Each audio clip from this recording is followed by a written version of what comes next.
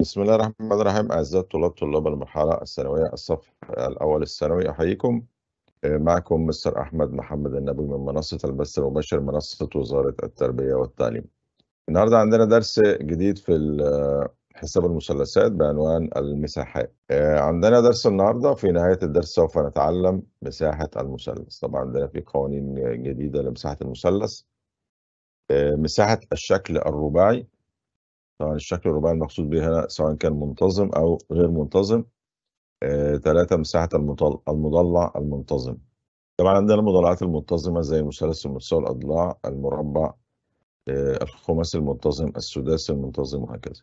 أول قانون عندنا مساحة المثلث بتساوي نصف حاصل ضرب طولي ضلعين في جيب الزاوية المحصورة بينهم. طبعا إحنا عندنا في قوانين خدناها قبل كده على مساحة المثلث. زي مساحة المثلث بتساوي نصف طول القاعدة في الارتفاع. نصف طول القاعدة في الارتفاع. طبعا ده قانون علينا من الابتدائي وخدناه قبل كده في الإعدادي. مساحة المثلث بتساوي نص طول القاعدة في الارتفاع المناظر لها طبعا. يعني لو رسمنا أي مثلث كده ألف ب ج علشان بس لما نشوف التطبيق هنطبق القانون اللي إحنا خدناه الجديد ده إزاي؟ عندي هنا نص حاصل ضرب طول أي ضلعين يبقى مثلا ممكن لو أنا استخدمت القانون ده اللي هو نصف حاصل ضرب أي ضلعين في جهة الزاوية المحصورة بينهم يبقى نص ألف ب في ألف ج في جاء الزاوية المحصورة بينهم اللي هي زاوية ألف. ألف ب في ألف ج في جاء الزاوية المحصورة بينهم اللي هي ألف وطبعا معانا نص ده ثابت في القانون. أو نص في ب ألف في ب ج في ج ب. أو نص ج ب في ج ألف. في ج ج. يعني عندي هنا في ممكن نستخدم القانون بثلاث طرق مختلفة. نص ألف ب في ألف ج في ج الزاوية بينهم ج ألف. أو نص ب ألف في ب ج في ج الزاوية بينهم اللي هي ج ب. أو نص ج ب في ج ألف في ج الزاوية بينهم اللي هي ج ج. طبعا في عندنا القاعدة اللي هي الأساسية أو اللي إحنا خدناها في الابتدائي قبل كده طول نص طول القاعدة نص طول القاعدة في الارتفاع المناظر له اللي هي بيبقى عندنا مثلا القاعدة ب ج وبنرسم العمودي من ألف على ب ج يدينا العمودي اللي هو ألف د. يعني ممكن نقول نص ب ج في ألف د. لو أنا هنستخدم القاعدة اللي هي نص طول القاعدة في الارتفاع.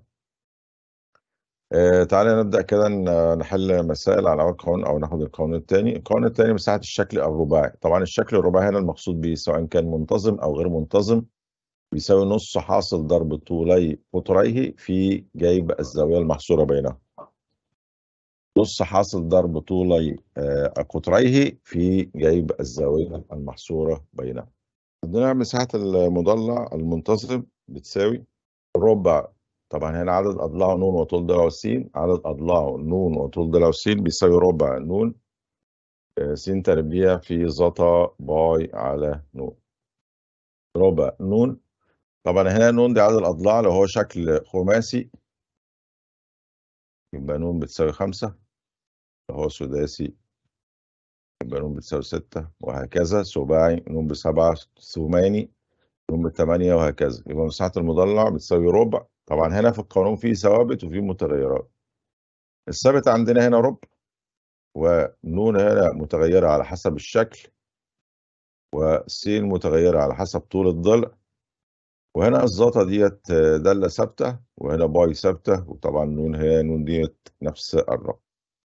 يعني لو نون خماسي لو الشكل خماسي يبقى نون بخمسة لو الشكل سداسي يبقى نون بستة وهكذا عندنا أول سؤال بيقول لي أوجد مساحة المثلث أ ب ج إذا كان أ ب ب 12 سم وأ ج ب 14 سم وقياس زاوية أ ب 48 درجة. عندنا هنا هنستخدم القانون الأول اللي إحنا خدناه اللي هو نص حاصل ضرب طولي ضلعين في جاء الزاوية المحصورة بينهم. يعني هنقول كده مساحة مثلث أ ب ج هتساوي نص في أ ب في أ ج في جاء الزاوية المحصورة بينهما اللي هي جاء ألف يبقى نص في ألف ب ب 12 في ألف ج ب 14 في جاء الزاوية المحصورة بينهم اللي هي جاء 48 درجة. بعد كده اللي باقي عملية حسابية بسيطة. نص في 12 في 14 في ساين هي جاء 48 درجة. يكون الإجابة 62 آه 62 سنتي. وأربعة من عشرة طبعا سنتيمتر مربع. يبقى نص في 12 في 14 في جاء الزاوية بينهم اللي هي جاء 48 نص في 12 في 14 في ساين الأنجل بينهم أو الزاوية بينهم 48 درجة. السؤال اللي بعديه. نفس الفكرة بس بأرقام ورموز مختلفة. بيقول لي أوجد مساحة المثلث أ ب ج إذا كان طول ج ب 10 سم وطول أ ج ب 14 سم وقياس زاوية ج بيساوي 33 درجة. هنا المعطى مختلف بس ج ب وأ ج والزاوية بينهم أو المحصورة بينهما 33 درجة. يبقى هنستخدم القانون مساحة المثلث أ ب ج تساوي نصف ج ب في أ ج في جاء الزاوية محصورة بينهم اللي هي جاء ج نص ج ب بعشرة وأ ج بأربعتاشر وجاء الزاوية المحصورة بينهم اللي هي جاء تلاتة وتلاتين درجة.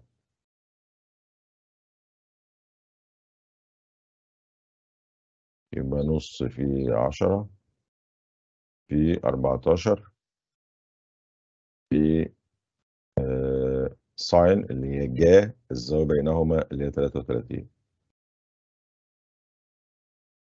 يكون عندنا الإجابة تمانية وتلاتين وواحد من عشرة سنتيمتر مربع.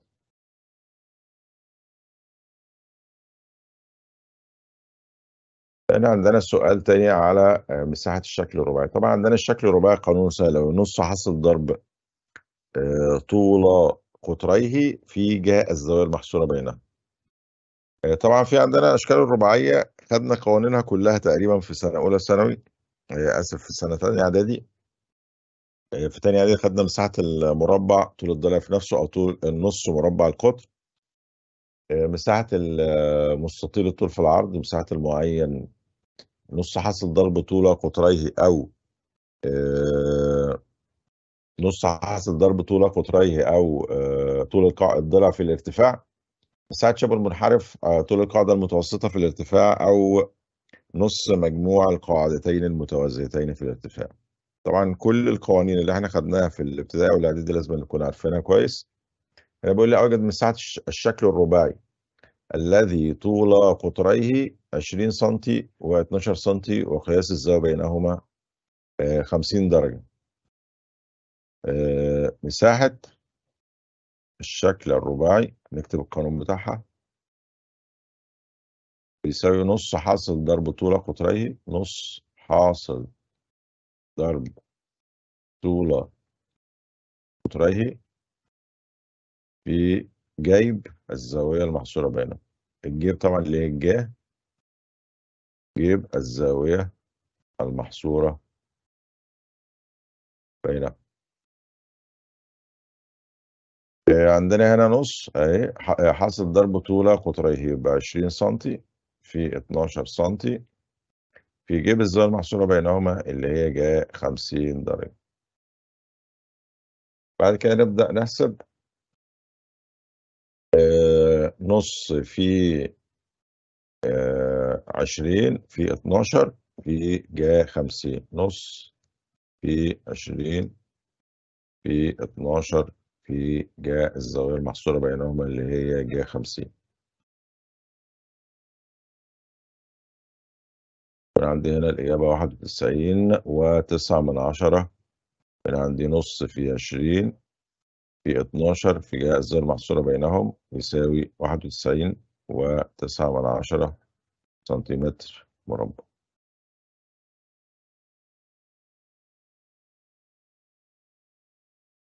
سؤال تاني على آه، مساحة الشكل الرباعي. أوجد مساحة الشكل الرباعي الذي طول قطريه 10 سم و6 سم وقياس الزاوية بينهما 73 درجة. برضه هنا المساحة هتساوي نفس القانون. نص حاصل ضرب طول قطريه في جيب الزاوية المحصورة بينهم يبقى نص في 10 في 6 في جاء الزاوية المحصورة بينهما اللي هي جاء 73 درجة. نص حاصل ضرب طول قطريه في جاء الزاوية المحصورة بينهم يبقى نص في عشرة في ستة في جا اللي هي ساين تلاتة وسبعين. تساوي تمانية وعشرين وسبعة من عشرة سنتيمتر مربع. يبقى هنا عندي مساحة الشكل الرباعي نص حاصل ضرب طول قطريه في جاء الزاوية المحصورة بينهما وكل القوانين اللي كانت علينا في في المرحلة السابقة نكون عارفها. هنا سؤال على المضلع المنتظم بيقول لي أوجد مساحة الشكل الثماني المنتظم الذي طول ضلعه 10 سم أوجد مساحة الشكل الثماني الذي طول ضلعه 10 سم هنكتب القانون بتاع المضلع المنتظم؟ مساحة المضلع المنتظم نون على أربعة في س تربيع في ظتا pi على نون. هنا الشكل الثماني يبقى نون بتمانية. س اللي هي طول الضلع بعشرة. زتا باي على تمانية. طبعا باي على تمانية اللي هي مية وتمانين على تمانية تساوي كام؟ مية وتمانين على تمانية.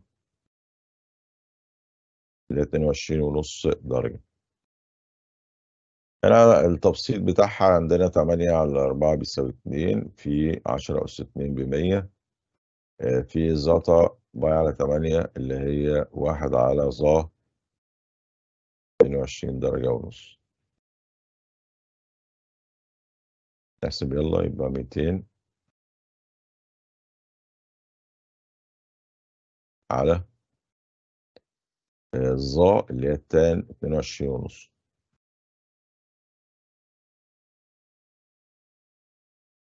يكون الناتج هنا عندي ربعمية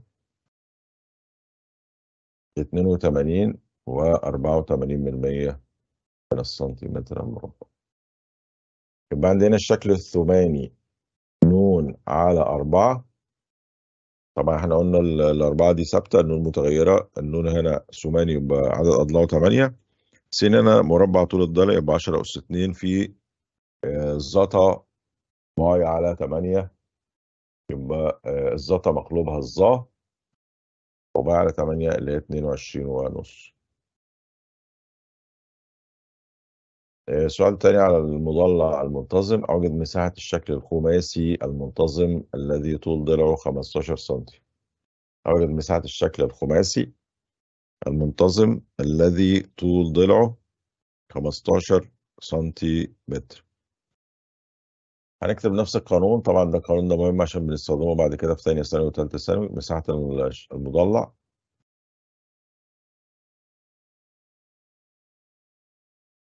المنتظم نون على أربعة. س تربيع زتا باي على نون. كان الشكل الخماسي يبقى نون بخمسة. وس بخمستاشر. في ظتا pi على نون يعني pi على يبقى خمسة على أربعة في خمستاشر أس اتنين اللي هي ميتين خمسة وعشرين. في ظتا pi على خمسة اللي هي واحد على ظا باي على خمسة اللي هي مية وتمانين على خمسة بستة وتلاتين.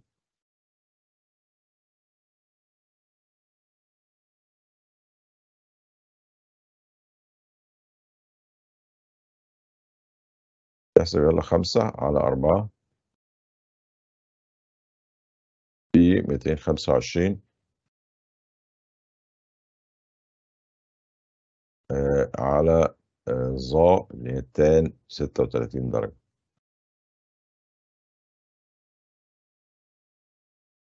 يبقى الإجابة تلتمية سبعة وتمانين. وواحد من عشرة سنتيمتر مربع. يبقى مساحة المضلع المتزن نون على أربعة في س تربيع زتا باي على نون. يبقى خمسة على أربعة حسابها تاني أو نتأكد منها. في خمستاشر أس اتنين اللي هي ميتين خمسة وعشرين على ظا اللي هي tan ستة وتلاتين. والإجابة تلتمية سبعة وتمانين وواحد من عشرة. طبعا نخلي بالنا وإحنا بنحسب لازم أن تكون آلة حاسبة مظبوطة على نظام ال degree علشان لو مش مظبوطة على نظام ال degree هيطلع الإجابات إيه؟ الحسابات النهائية غلط. سؤال تاني على مساحة الشكل السداسي والشكل السداسي هنا ليه قانون خاص بيه ممكن نستنتجه دلوقتي على طول. مساحة الشكل السداسي طبعا الشكل السداسي هنا عدد أضلاعه ستة يبقى ستة على أربعة. في س تربيع في زتا باي على ستة. ستة على أربعة فيها تلاتة على اتنين. باي على أربعة فيها جذر تلاتة. يبقى مساحة الشكل السداسي ممكن نقول على طول مساحة الشكل السداسي المنتظم. قانون على طول تلاتة جذر تلاتة على اتنين في س تربيع. طبعا هنا هيبقى المتغير الوحيد هو طول الضلع س. أنا استخدمت القانون الأصلي في في المضلع المنتظم وحطيت نون بستة طلع لي تلاتة جذر تلاتة على اتنين س تربيع يبقى المتغير هنا س لأن كده كده في الشكل السداسي المنتظم كل زاوية من الزوايا ستين يعني الزاوية بتاعته ثابتة اللي بيبقى متغير بس طول الضلع طول ضلعه تمانية سنتي. يبقى هنا تلاتة جذر تلاتة على اتنين في تمانية أس اتنين اللي هي طول الضلع تربيع. يبقى تمانية أس اتنين اللي هي أربعة وستين. في تلاتة على اتنين هتساوي ستة وتسعين جذر تلاتة.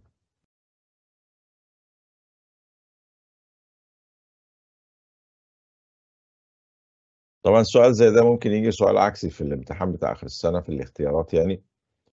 يجيب لي المساحة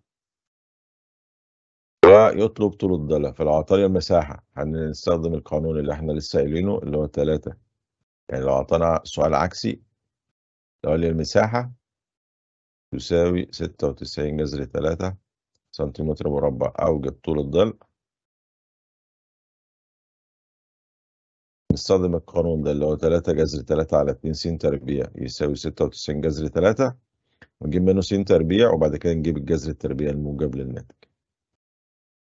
يعني نقول هنا آه تلاتة جذر تلاتة على اتنين س تربيع هتساوي ستة وتسعين جذر تلاتة يبقى س تربيع هتساوي أربعة وستين يبقى إذا س يساوي تمانية أو طول الضلع يساوي تمانية.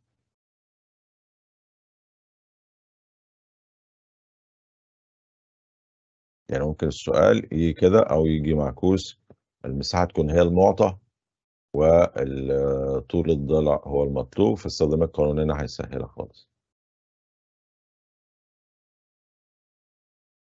بعد كده عندنا سؤال على المعين وفي حاجات مشابهة للمعين بقى زي المتوازي الأضلاع وغيره. يقول لي أوجد مساحة معين طول ضلعه 6 سم وقياس إحدى الزوايا 60 درجة. لو رسمنا المعين كده المعين من خواصه إن جميع أضلاعه متساوية. وفي كل الزاويتين متقابلتان متساويتان في القياس دي 60 درجة وأيضا من أضلاعه 6 سم هنا مساحة المتوازي الأضلاع أو المعين بتكون حاصل ضرب طول ضلعين متجاورين في جاء الزاوية بينهم حاصل ضرب مساحة المتوازي أو المعين حاصل ضرب طول ضلعين متجاورين في جاء الزاوية بينهم طيب القانون ده جه منين؟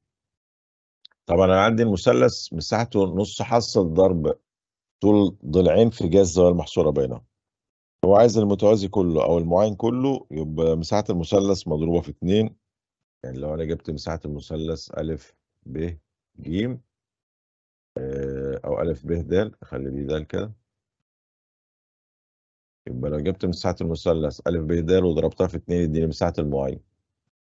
لمّا نضربها في 2 يبقى الاتنين اللي في القانون الأصلي تضيع، يبقى مساحة المعين تساوي نُص حاصل ضرب ضلعين نُص حاصل ضرب آآ أي ضلعين متجاورين في جاء الزاوية المحصورة بينهم. نُص حاصل ضرب طول ضلعين متجاورين في جاء الزاوية المحصورة بينهم. والقانون ده برضه يشتغل مع آآ المتوازي الأضلاع، يعني ممكن نشيل كلمة معين هنا وتبقى متوازي أضلاع. 6 في 6 في جاء 60. طبعًا جاء 60 معروفة بجذر 3 على 2 يبقى الناتج هيساوي آآ 18 جذر 3 سنتيمتر مربع.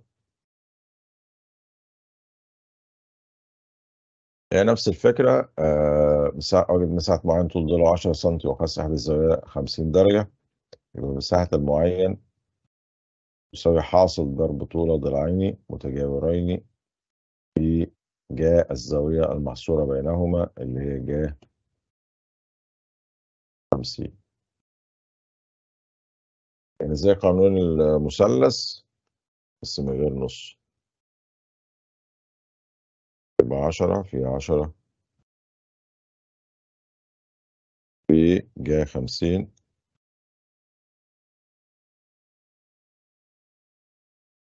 آآ تساوي 76 و6 سنتيمتر مربع، 76 و6 سنتيمتر مربع. يعني السؤال على متوازي الأضلاع، الاختلاف بين المتوازي والمعين لمتوازي الضلعين المتجاورين بيكونوا غير متساويين في الطول، الضلعين المتجاورين بيكونوا غير متساويين في الطول. آآ بيقول لي أوجد مساحة متوازي أضلاع طول ضلعيه المتجاورين 6 سنتي و10 سنتي وقياس إحدى الزوايا آآ 60 درجة.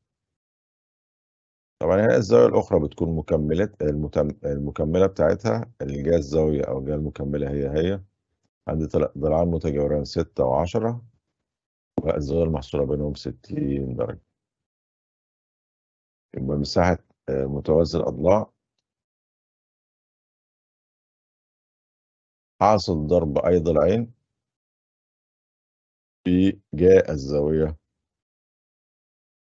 المحصورة بينهم. يبقى 6 في 10 جاء 60 بجذر 3 على 2 يبقى 30 جذر 3 سنتيمتر مربع. يبقى في المعين ومتوازي الأضلاع بناخد نُص آآ من غير نُص آآ حاصل ضرب أي ضلعين في الزاوية المحصورة بينهم. حاصل ضرب أي ضلعين في جاء الزاوية المحصورة بينهم. هنا سؤال تاني أو فكرة تانية بيقول لي أوجد مساحة المثلث الذي أطوال أضلاعه 11 و8 و7 سنتي. هنا في آآ صيغة اسمها صيغة هيرون. آآ صيغة هيرون هيرون دي بتقول لي مساحة المثلث بتساوي جذر مثلًا لو المثلث اسمه أ، ب، ج، مساحة المثلث أ، ب، ج هتساوي ح ناقص أ، ب في ح ناقص آآ ب، ج في ح ناقص أ آآ ج في ح نفسها. حيث ح ديّة بتساوي نصف محيط المثلث أ، ب، ج. بتساوي نصف المحيط اللي هو مجموع الأضلاع على 2. فهنا هنجيب الأول ح اللي هي نصف المحيط. 11 زائد 8 زائد 7 على اتنين. هتساوي ستة وعشرين على اتنين تلاتاشر سنتي. يبقى المساحة هتساوي جذر. تلاتاشر ناقص حداشر باتنين تلاتاشر ناقص تمانية بخمسة تلاتاشر ناقص سبعة بستة في تلاتاشر اللي هي نصف المحيط. يبقى هنا نصف محيط المثلث آه، نطرح نصف المحيط ناقص الضلع الأول نصف المحيط ناقص الضلع الثاني ونصف المحيط ناقص الضلع الثالث في نصف المحيط نفسه.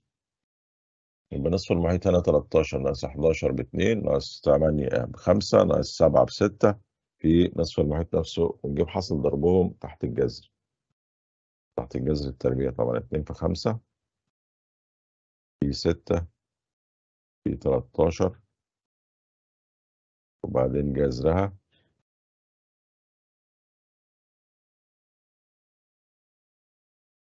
يكون سبعة وعشرين وتسعة من عشرة سنتيمتر مربع أو اتنين جذر مية خمسة وتسعين.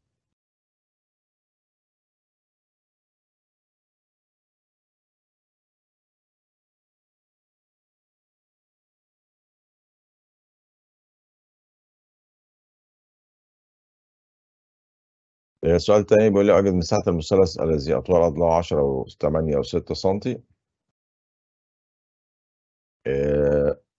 ممكن نستخدم القانون اللي فات أو ممكن نستخدم عكس نظرية فيثاغورس ونسبة المثلث قائم الزاوية ونجيب نص طول القاعدة في الارتفاع طبعا هنا 6 تربيع زائد 8 تربيع بيساوي 100 اللي هي بتساوي 10 تربيع يبقى اذا المثلث ده قائم الزاوية. آه وضلعي القائمه هما 6 و8 ضلعي الزاويه القائمه 6 و8 والوتر 14 سم. دي طبعا طريقة. لو أنا ما خدتش بالي إن هو قائم الزاوية واستخدمت القاعدة اللي فاتت اللي هي هيرون هنجيب الأول ح اللي هي نصف المحيط عشرة. زائد تمانية زائد ستة بأربعة وعشرين على الاتنين فيها الاتناشر يبقى المساحة هتساوي اتناشر ناقص عشرة باتنين. 12 ناقص 8 بأربعة. 12 ناقص 6 بستة. في 12 نفسها. ونضرب هنا 2 في 4 في 6 في 12 2 في 4 في 6 في 12 567 وبعدين نجيب جذرها يطلع 24 سنتيمتر مربع لو استخدمنا هنا بقى عكس فيثاغورس واثبتنا ان المثلث قائم الزاوية هنقول إيه؟ مساحة المثلث تساوي نص طول القاعدة في الارتفاع تساوي 24 سنتيمتر مربع ده حل آخر أو طريقة أخرى للحل بس طبعا لازم نكون متأكد إن هي مثلث قائم الزاوية. مجموع مجموع مربعي طول ضلعين بيساوي مربع الضلع الثالث. مجموع مربعي طول ضلعين بيساوي مربع الضلع الثالث. هنا عندي سؤال برضو على المثلث المتساوي الساقين وهنا برضو هنكتب له قانون. المثلث المتساوي الساقين مساحته بتساوي جذر 3 على 4 في الضلع تربيع. جت منين؟ طبعا المثلث المتساوي الأضلاع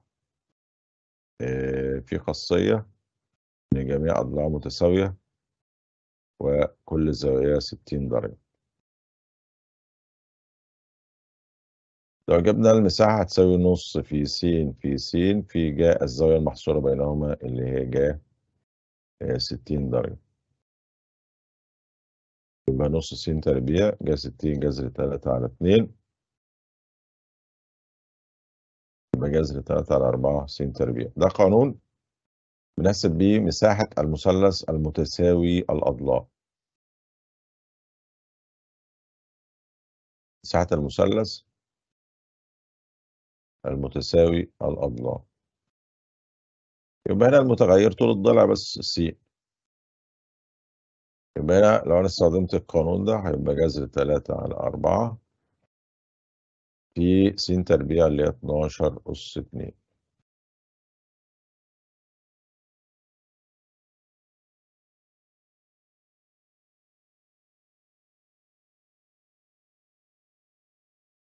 يبقى 144 في جذر تلاتة على أربعة. يساوي 36 جذر تلاتة. سنتيمتر مربع.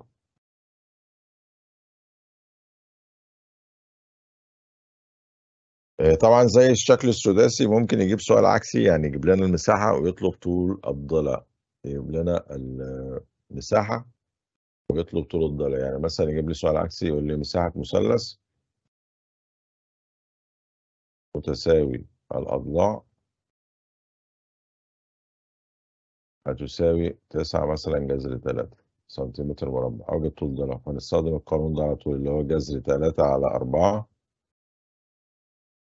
س تربيع تساوي تسعة جذر تلاتة. ونختصر نجيب س تربيع لوحدها يبقى نقسم على جذر تلاتة على أربعة. يبقى س تربيع هتساوي ستة وتلاتين. يبقى س هتساوي ستة سنتي. يعني ده سؤال عكسي يدينا المساحة ويطلب الإيه؟ طول الضلع يدينا مساحة بس طبعا ده خاص بالمثلث آه المتساوي الأضلاع. آه عندنا طبعا ممكن يجيب لنا سؤال على آه المستطيل. أوجد مساحة مستطيل طول أحد قطري 14 سنتي. وقد الزاوية بين القطرين 120 درجة. طبعا إحنا عارفين المستطيل من خواصه إن القطران متساويان. يبقى إذا كان أحد القطرين 14 يبقى القطر الآخر ب 14 ومساحة المستطيل. هتساوي نص حاصل ضرب القطرين في جاء الزاوية المحصورة بينهم. نحسب على طول نص فرق جا طبعا 120 بتساوي جذر 3 على 2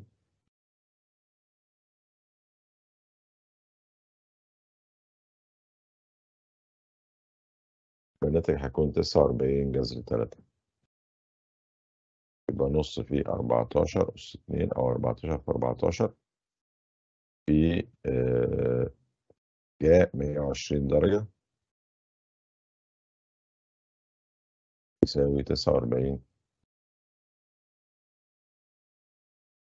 جذر تلاتة سنتيمتر مربع.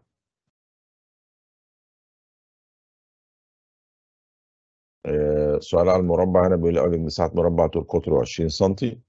ممكن نستخدم نفس القانون اللي استخدمناه مع المستطيل بس طبعا في المربع القطران متعامدان يعني مساحة المربع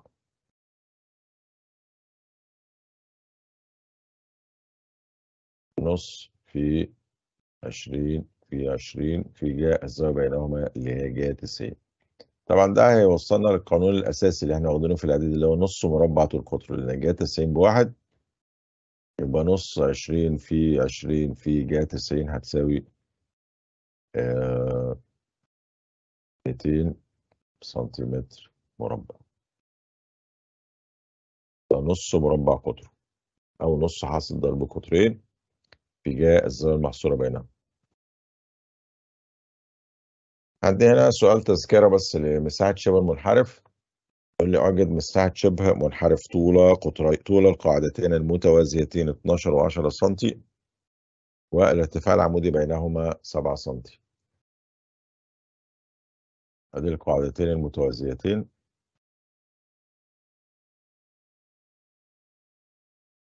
اتناشر سنتي و عشرة سنتي الارتفاع بينهما سبعة سنتي هنا مساحة الشبه المنحرف نص.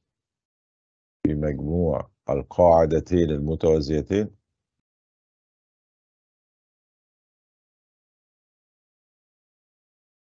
في الارتفاع العمودي بينهم. يبقى نص في مجموع القاعدتين 12 زائد 10 في الارتفاع العمودي 7 يبقى نص في 22 نص في 22 في السبعة يدينا 77 سنتيمتر. مربع.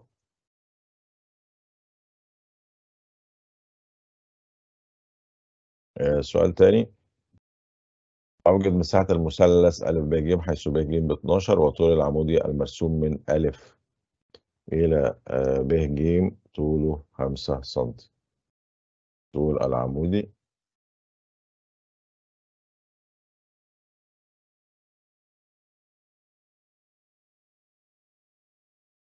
المرسوم من أ إلى ب ج بيساوي 5 سنتي، يبقى هنا أعطيني طول القاعدة اللي هي ب ج 12 سنتي.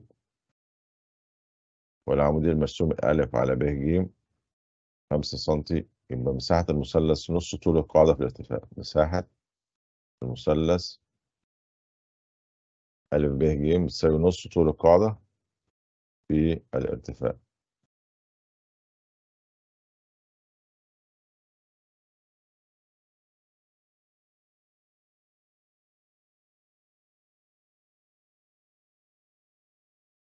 يبقى نص في 12 في 5 يساوي 30 سنتيمتر مربع، نص القاعدة في الارتفاع نص في 12 في 5 ب30 سنتيمتر مربع. آآ بكده نكون وصلنا لأن حصتنا آآ كانت بعنوان المساحات.